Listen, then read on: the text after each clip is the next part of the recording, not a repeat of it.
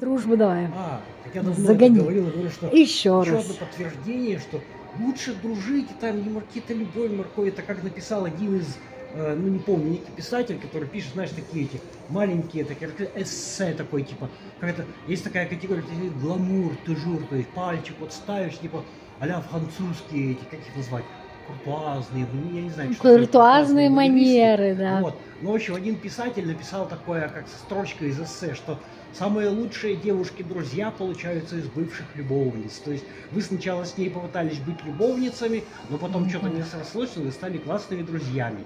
Вот. Это не из Да, я тоже слышала это, да. Это не из эзотерики, это написал просто один такой, как типичный поэт, писатель, типа из богемы. На собственном опыте. Человек, да.